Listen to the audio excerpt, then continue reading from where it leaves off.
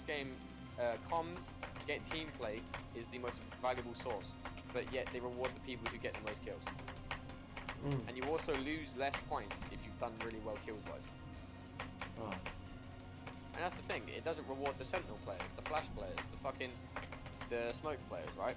A smoke or flash player could have 25 assists, probably the same amount as the duelist has in kills, and will get less RR. Because the fucking tracking system is awful. Fucking average combat score, which by the way, you get uh, the higher your ACS, the better, right? You get ACS from dying. Fuck! So if you're if you're I swear to God, shut up about it's Valorant or I'll rip your fucking foreskin off. Hey guys, what's up? Uh, I just wanted to quickly announce a project I'll be doing while verifying this level.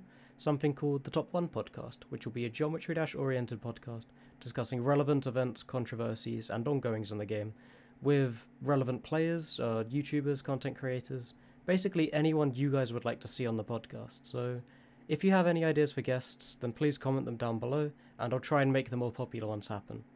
Anyways, I look forward to beginning this, and I hope you're enjoying the Vehemence progress. Uh, even though it's a little slow right now, I feel like it's going alright. Um, yeah, that's about all from me. In a bit, guys.